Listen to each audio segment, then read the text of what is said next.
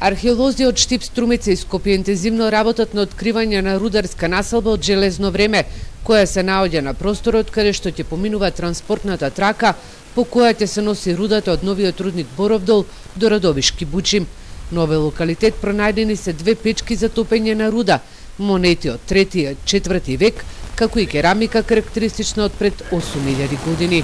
Можеме да кажеме дека овој крај Пилавтепе и околината на Радовиш и рудниците Бучем и Дамјан е една огромна населба која што од, од праисторијата па до ден денеска се занимавала со рударство. А, откриени се голем број на, на предмети, откриени се монети од третиот, четвртиот век, карактеристични сад, карактеристична садова керамика и керамика која што била користена во рударството.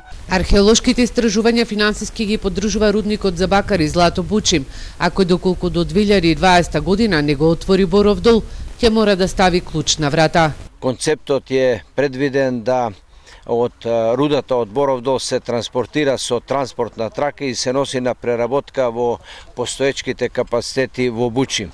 За таа цел, овде кај што се наоѓаме, треба да поминува транспортна трака. Ова е втора археолошка акција пред околу 7 месеци во местноста Боров дол откриена е рударска населба која датира од 5 и 6 век пред новата ера.